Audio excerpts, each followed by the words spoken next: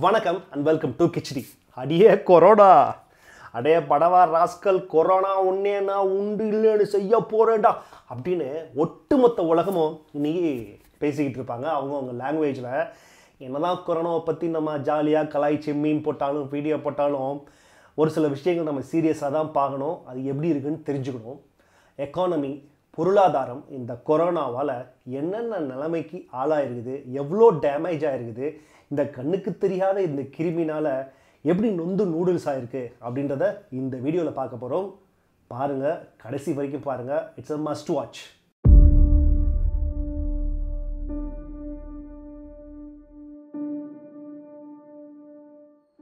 இந்த corona effect அப்படின்றது December மாதத்துலேருந்து உலகம் ஃபுல்லாக வர ஆரம்பிச்சிருச்சு.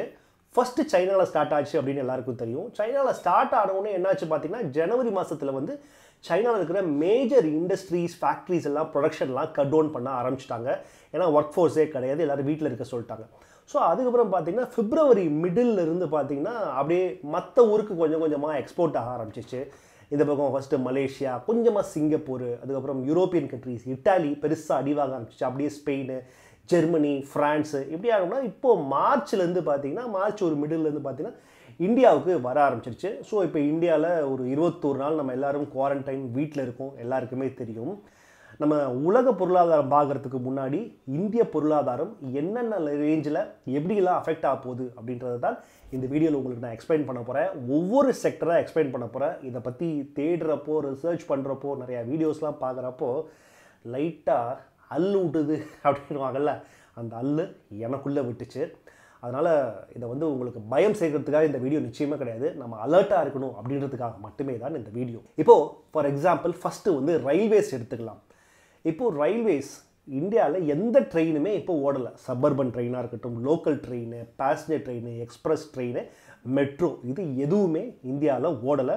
ஆல்ரெடி ஒரு ஒரு வாரம் ஆயிடுச்சு. இப்போ ஏப்ரல் பதினாலு வரைக்கும் ஓடாது அப்படின்னு சொல்லிட்டாங்க. ரயில்வே செக்டாரில் என்னென்ன நடக்கும் அப்படின்றத இப்போ நான் சொல்கிறேன் ஃபஸ்ட்டு இந்தியன் ரயில்வேஸ் எடுத்துக்கலாம். இந்தியன் ரயில்வேஸில் மொத்தம் பதிமூணாயிரத்தி ஐநூறு பேசஞ்சர் ட்ரெயின் ஓடுது. இந்த பேசஞ்சர் ட்ரெயின் மூலமாக நார்மலாக ஆவரேஜாக ஒரு நாளைக்கு வருமானம் சுமார் இரநூறு கோடி அப்படின்னு கணக்கு பண்ணுறாங்க இப்போது இருபத்தோரு நாளைக்கு ட்ரெயின் எதுவுமே ஓட போகிறதில்ல அப்படின்னா இதில் இருக்கிற லாஸ் மட்டுமே கிட்டத்தட்ட ஒரு பதினஞ்சாயிரம் கோடி லாஸ் இருக்குன்றாங்க. இந்த பதினஞ்சாயிரம் கோடின்றது நான் மினிமலாக சொல்கிறேன் இது இன்னும் ஜாஸ்தியாக போகக்கூடும். கிட்டத்தட்ட இருபதாயிரம் கோடி வரைக்கும் இந்தியன் ரயில்வேஸ்க்கு வருமான இழப்பு இருக்கும். இந்த வெறும் இருபத்தி ஒரு நாளில் அப்படின்னு கணக்கு சொல்லுது. பிளாட்ஃபார்ம் டிக்கெட் எடுக்க அது ஒரு தனி கணக்கு. நல்ல வேலைக்கு சரக்கு குட்ஸ் ட்ரெயின் மட்டும் இப்போ போயிட்டுருக்கு அதனால் அதில் வரக்கூடிய வருமானம் மட்டும் வந்துகிட்டு இருக்கும். பட் இருபதாயிரம் கோடி டிக்கெட் மூலமாக மட்டும் இந்த இருபத்தோரு நாளில் லாஸ் இந்தியன் ரயில்வேஸ்க்கு இப்போ இந்தியன் ரயில்வேஸ்க்கு எவ்வளோ லாஸ் அப்படின்னு பார்த்துட்டோம். அடுத்த மிக முக்கியமான செக்டர் என்ன அப்படின்னு பார்த்தீங்கன்னா tourism travel and hospitality industry அப்படின்வாங்க ரொம்ப ஈஸியாக நம்ம எல்லாருக்கும் புரியுற மாதிரினா ஏரோப்ளேனு ஹோட்டல் தங்குற லாட்ஜு அதுக்கப்புறம் சாப்பாடு அப்புறம் அதை ஒட்டி இருக்கிற transport cab services taxi services இது எந்த அளவுக்கு அஃபெக்ட் ஆகிருக்கு அப்படின்னு நான் சொல்கிறேன் மிரட்டு போயிடுவீங்க. இந்த இருபத்தோரு நாளில் இந்தியாவில் மட்டும் ஹாஸ்பிட்டாலிட்டி இந்த யாருமே இப்போ வந்து வெளிநாட்டிலேருந்து யாரும் இந்தியாவுக்குள்ளே வர முடியாது. இங்கேருந்து வெளியும் போக முடியாது. எந்த லாட்ஜும் புக் பண்ண முடியாது. எந்த ஹோட்டல்லையும் வெளிநாட்டுக்காரங்க யாரும் தங்க முடியாது. இந்தியாவுக்குள்ளேயே ஒரு மாவட்டத்துலேருந்து இன்னொரு மாவட்டத்துக்கு போக முடியாத ரேஞ்சில் இருக்கிறதுனால இந்தியாவுக்குள்ளே மட்டும் முப்பதாயிரம் கோடி அளவுக்கு ஹாஸ்பிட்டாலிட்டி இண்டஸ்ட்ரியில் லாஸ் இருக்கும் அப்படின்னு சொல்கிறாங்க ஏன்னா லாட்ஜில் புக் பண்ணாதனால ஆல்ரெடி வந்து தங்கினவங்க மட்டும்தான் இங்கே இப்போதைக்கு இருப்பாங்க. புதுசாக யாரும் புக் பண்ணவும் மாட்டாங்க. அது மட்டும் இல்லாமல் இந்த கொரோனாலாம் முடிஞ்சால் கூட மக்கள்கிட்ட ஒரு சென்டிமெண்ட் இருக்கும். ஐயோ நம்ம போகலாமா வேணாமான்ற ஒரு பயம் இருக்கும். அது அட்லீஸ்ட் ஒரு மினிமம் அஞ்சு மாதமாவது அது கண்டினியூ ஆகுன்றனால முப்பதாயிரம் கோடிக்கும் மேலே இந்த லாட்ஜ் செக்ஸ் செக்ஷனில் மட்டுமே லாஸ் இருக்கும் அப்படின்றாங்க. அடுத்து ஃப்ளைட் ஏவியேஷன் செக்டார் இந்த ஏவியேஷன் செக்டாரில் வந்து உலகம் முழுக்க இன்றைக்கி ஆல்மோஸ்ட் எல்லா கண்ட்ரீஸுமே ஃப்ளைட்ஸை பேன் பண்ணிட்டாங்க. இப்போ இந்தியாவுக்கு வெளியூர்லேருந்து எந்த ஃப்ளைட்டும் கிடையாது வெளிநாட்டிலேருந்து இந்தியாவுக்குள்ளே எந்த ஃப்ளைட்ஸும் கிடையாது எந்த சீட்டுமே புக் ஆகாது. ஆல்ரெடி ஏரோப்ளைன் இண்டஸ்ட்ரி இந்த ஃப்ளைட் இண்டஸ்ட்ரி லாஸில் தான் போயிட்டு இருக்குது ஓகே இப்போ இந்த யாருமே டிக்கெட் புக் பண்ணல. Zero revenue okay minded zero revenue ஆனால் நீங்கள் ஏர்போர்ட்டில் வாடகை கட்டணும் உங்கள் ஃப்ளைட்டை நிப்பாட்டி வைக்கிறதுக்கு வாடகை டூ எம்ப்ளாயீஸ்க்கு சம்பளம் கொடுக்கணும். இத்தனையும் மேனேஜ் பண்ணோம். ஆனால் ஜீரோ ரெவென்யூவில் இந்த ஏவியேஷன் செக்டரில் மட்டும் எவ்வளோ லாஸ் இருக்கும் அப்படின்னு பார்த்தீங்கன்னா கிட்டத்தட்ட முப்பத்தி ஓராயிரம் கோடி லாஸ் இருக்கும் இந்த வருஷத்தில் அப்படின்னு சொல்கிறாங்க ஹியூமங்கஸ் மான்ஸ்ட்ரஸ் அப்படின்னு நான் சில எக்கானமிஸ்ட்டை கேட்டேன். அடுத்ததாக அடுத்த ஆறு மாதம் பேஸ்டரில் வராது. ஸோ ஓகே இது ரெண்டு இருக்கிறதுனால அடுத்து இந்த காரு டாக்ஸி இதெல்லாம் இருக்குது பார்த்தீங்களா ஸோ இவங்கெல்லாம் வந்தால் தானே இந்த டாக்ஸியில் நாலு பேர் நாலு இடத்துக்கு போவாங்க.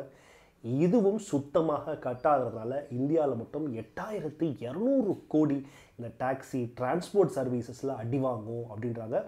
இந்த கொரோனாவால் இந்த கண்ணுக்கு தெரியாத இந்த வைரஸ்னால் அது மட்டும் இல்லாமல் கிட்டத்தட்ட more than one point five million jobs அதாவது பதினஞ்சு லட்சத்துக்கும் மேலே வேலை இழப்புகள் ஏற்படும் அப்படின்னு சொல்லியிருக்கிறாங்க.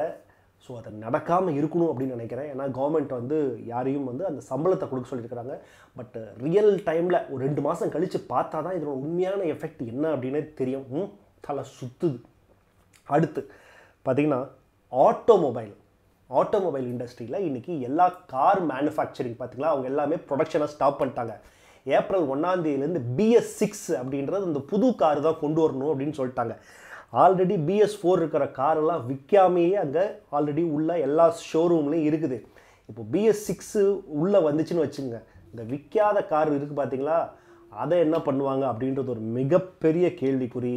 மக்கள் யாருக்கிட்டேயும் காசு இருக்காது. புதுசாக ஒரு அஞ்சு லட்சம் ஆறு லட்சம் ஏழு லட்சம் போட்டு கார் வாங்குறதுக்கு. ஏன்னா அது ஒரு மிகப்பெரிய இன்வெஸ்ட்மெண்ட் இப்போதைக்கு அதில் போய் யாரும் காசும் போட மாட்டாங்க. ஸோ அதனால் அதுவும் பெரிய சூப்பு.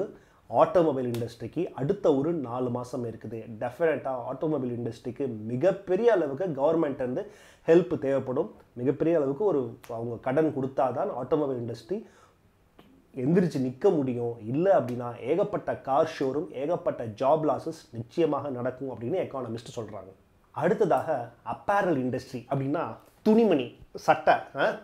எவ்வளோன்னு பார்த்தீங்கன்னா இந்தியாவில் வந்து எவ்வளோ ஒரு ஒரு வருஷத்துக்கு எவ்வளோ மொத்த அதோட மதிப்புன்னு கேட்டிங்கன்னா ஒரு லட்சத்தி பத்தாயிரம் கோடி ஒரு வருஷத்துக்கு உண்டான மொத்த மதிப்பு சரிங்களா? One point two five crores ஒன்னே கால் கோடி ஒர்க்கர்ஸ் வந்து அதில் வேலை பார்க்குறாங்க. கடந்த ஒரு ஒரு மாதமாக எக்ஸ்போர்ட் சுத்தமாக இல்லை. ஏன்னா இங்கேருந்து எக்ஸ்போர்ட்டு வெளியே எங்கேயும் போல ரா மெட்டீரியல்ஸ் வெளிநாட்டிலேருந்து வர்றதும் இங்கே வரல. அதனால் இந்த தைக்கிறவங்களுக்கு இது சம்மந்தமான எல்லா டெக்ஸ்டைல் சம்மந்தமான அத்தனை பிஸ்னஸுமே அப்படியே இப்போ வந்து டெம்பரரியாக ஹால்ட் பண்ணியிருக்கிறாங்க எந்த துணிக்கடையும் திறக்கலை. எந்த துணிக்கடை திறக்காததுனால வியாபாரம் இருக்காது. ஆல்ரெடி இருந்த ஸ்டாக் எல்லாமே அப்படியே உள்ளே இருக்கும். இப்போ மறுபடியும் இந்த பிரச்சனையெல்லாம் முடிஞ்சாலும் மக்கள் வந்து கூட்டம் கூட்டமாக வந்து துணி வாங்குவாங்களா அப்படின்னு கேட்டால் பெரிய டவுட்டு ஸோ அதனால் அந்த இண்டஸ்ட்ரிக்கும் அப்பேரல் இண்டஸ்ட்ரிக்கும் ஒரு பெரிய லாஸ் ஆல்ரெடி திருப்பூரில் ஏகப்பட்ட பிரச்சனையில் சிக்கிட்டு இருக்கிறாங்க. ஸோ என்ன பண்ண போகிறாங்க அப்படின்றது தெரியாது. இது அதாவது என்னன்னா இது எதிர்பார்க்காததுன்னா மேலே இது அதுக்கு மேலே அடி அப்படின்றாங்க. அடுத்து வந்து ஃபுட் இண்டஸ்ட்ரி ரெஸ்டாரண்ட் சாப்பாடு. இந்த சாப்பாடு சர்வீஸ் இண்டஸ்ட்ரி மட்டும் பார்த்தீங்கன்னா எவ்வளோ இருக்குது அப்படின்னு கேட்டிங்கன்னா கிட்டத்தட்ட நாலரை லட்சம் கோடி இதனோட டோட்டல் மதிப்பு. இதில் இந்த ரெஸ்டாரண்ட் ஆர்கனைஸ்டான ஃபுட் இண்டஸ்ட்ரி மட்டும் பார்த்தீங்கன்னா ஒன்றே முக்கால் லட்சம் கோடி one point seven five lakh crores இதில் லாஸ் மட்டும். ஏன்னா எல்லா ஃபுட் இண்டஸ்ட்ரியும் பார்த்தீங்கன்னா இப்போ ஒரு மாதிரி பெரிய ரெஸ்டாரண்ட்ஸ்லாம் பார்த்தீங்கன்னா இந்த கேஎஃப்சி மெக்டொனல்ட்ஸ்மா இருக்கலாம் அது எல்லாத்தையுமே வந்து இப்போ மூடிட்டாங்க. மீடியம் ரெஸ்டாரண்ட்ஸ் மட்டும்தான் திறந்து வச்சு இப்போது கொடுத்துருக்கு யாரும் வந்து சாப்பிட்றதுக்கு உண்டான அந்த வேலையே இல்லாமல் போச்சு. பார்சல் வேணால் வாங்கிட்டு போகலாம் இன்றைக்கி தேதிக்கு இந்தியாவில் முடிஞ்ச வரைக்கும் வெளியே போய் காசு செலவு பண்ணதோட வீட்லேயே எதையாவது சமைச்சு சாப்பிட்டுக்கலாம் அப்படின்னு இருக்கிறாங்க. மக்கள் வெளியே போய் ஃபேமிலியோடு போய் வெளியே ரெஸ்டாரண்ட்டில் சாப்பிடாம நிச்சயமாக அப்படி தான் இருக்க போகிறாங்க அதனால் லாஸ் மட்டும் எழுபதாயிரம் கோடி இந்த கொரோனாவால் அந்த ஃபுட் சர்வீஸ் இண்டஸ்ட்ரிக்கு நடக்க போகுது அப்படின்றாங்க. கிட்டத்தட்ட one point five million job losses இதெல்லாம் வருமானம் இல்லாதனால முதலாளிகளுக்கு சம்பளம் கொடுக்க முடியாது. ஸோ அந்த ஒர்க்கர்ஸ் எம்ப்ளாயிஸ் அவங்கள பாதிக்கு மேலே கட் பண்ணுவாங்க அப்படின்ற மாதிரியான ஒரு டேட்டா சொல்கிறது அடுத்ததாக மீடியா இண்டஸ்ட்ரி மீடியா இண்டஸ்ட்ரி இன்றைக்கி இயங்கிகிட்டு இருக்குது. ஏன்னா அவங்க தான் வந்து நியூஸ் சொல்கிறாங்க தகவலை வெளியே போய் சொல்கிறாங்க என்ன ப்ராப்ளம் வருது அப்படின்னா மீடியா இண்டஸ்ட்ரிக்கு ஆட் விளம்பரங்கள் மூலமாக தான் வருமானம். அந்த விளம்பரம் அப்படின்றது இப்போது விளம்பரம் செலவு பண்ணி யாரும் ப்ராடக்டை இந்த டைமில் விற்கிறதுக்கு உண்டான பாசிபிலிட்டிஸ் ரொம்ப ரொம்ப கம்மி. அதனால் ஆட் ஸ்பென்ஸு கம்மியாகும். விளம்பரங்கள் அந்த செலவு பண்ணுறது கம்மியாகும். டிவிகளுக்கு வருமானம் கம்மியாகும். ஆல்ரெடி நீங்கள் டிவிலலாம் பார்த்தீங்கன்னா விளம்பரங்கள் வெகுவாக பயங்கரமாக கம்மியாக இருக்கும் ஸோ அதை என்ன பண்ணுவாங்க? அடுத்து எம்ப்ளாயீஸ்க்கு சம்பளம் கொடுக்க முடியாது. ஸோ அதுவும் பாதிக்கு மேலே கட் ஆகிறதுக்கு வாய்ப்பு இருக்குது அடுத்தது மிகப்பெரியது என்டர்டைன்மெண்ட் இண்டஸ்ட்ரி ஈவெண்ட்ஸ் பெரிய பெரிய ஈவெண்ட்ஸ் அதுக்கப்புறம் சினிமா ஏன்னா சினிமா பெரிய மால்ஸ்லாம் இருக்குது பார்த்தீங்களா அங்கெல்லாம் சினிமா தேட்டர் இருக்கும். மக்கள் போகிறது அது எல்லாமே மூடிட்டாங்க.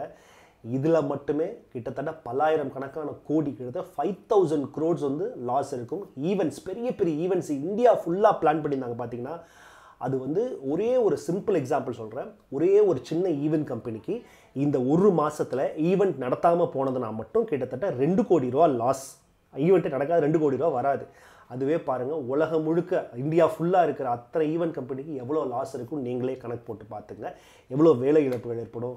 தம்மா துண்டு கொரோனா வைரஸ் அட்டங்குய்யால் உன்னையா நான் பச்சை பச்சையாக கேட்படா இல்லையா? அப்படின்னு நம்ம கொரோனாவை பார்த்து கேட்கலாம்.